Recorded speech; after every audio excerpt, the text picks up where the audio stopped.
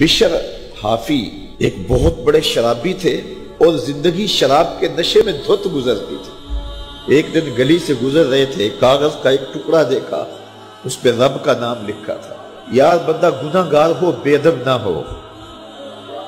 गुनागार हो, बेअदब ना हो।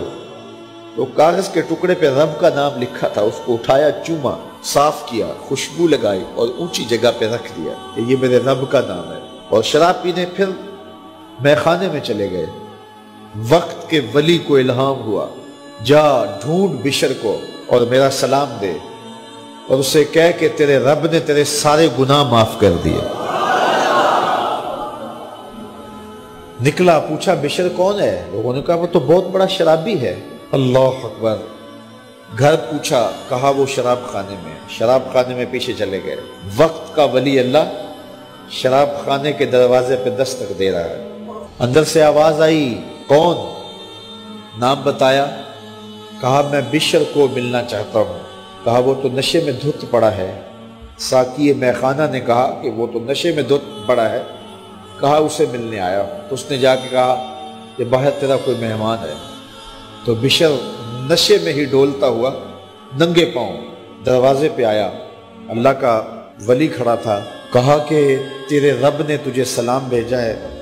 तूने उसके नाम की कदर की थी और उसने तेरे सारे गुनाह माफ़ कर दिए।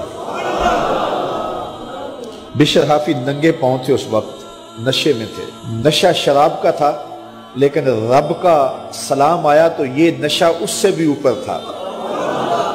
झूम उठे और कहा कि मैं अब रब का सलाम आया है तो अब मैं नंगे पाँव था। अब सारी ज़िंदगी मैं जूता नहीं पहनूँगा। अरबी में हाफी नंगे पाँव वाले को कहते हैं। तो बिशर हाफी को बिशर हाफी इसलिए कहते हैं कि वो सारी ज़िंदगी फिर ब्रह ना पा रहे। उन्होंने कभी भी जूता नहीं पहना था, ज़िंदगी बदल गई।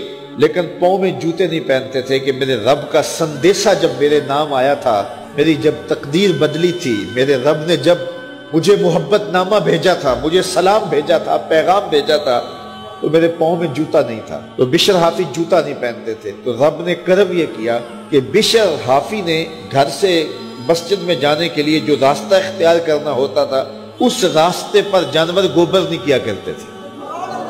जानवर नीत नहीं किया करते थे। ये बिशर हाफी की गुजरगाह है। एक दिन एक शख्स आया तो जिस रास्ते से बिशर हाफी गुजरते थे तो वहाँ किसी जानवर का गोबर पड़ा हुआ था। उसने बुलंद आवाज़ से कहा युहन्नास लोगों सुन लो। बिशर हाफी इंतकाल कर गए। लोगों ने कहा, तुम्हें किसने बताया है? कहा, ये गोबर पड़ा हुआ है, इसका मतलब है कि आज बिशर हाफी इस गली से नहीं गुजरेंगे। तो जब पता किया गया तो हज़रत बिशर हाफी का वाक्य इंतकाल हो गया। कोई सच्ची तोबा करे तो सही, कोई उसकी दहलीज तो आए तो सही। हम तो माइल बकरम हैं, कोई साइल ही नहीं। राह दिखलाए किसे, रह रवे मंजिल ही नहीं। कोई झोली तो फैलाए, वो तो करीब है। उसकी तो रहमतें आवाज़ दे रही हैं, या अयुहल इंसान, माँ गर्रा का बेरब कल करीम। ओ भागे हुए इंसान, आजा पलट के, तेरा रब बड़ा करीम है।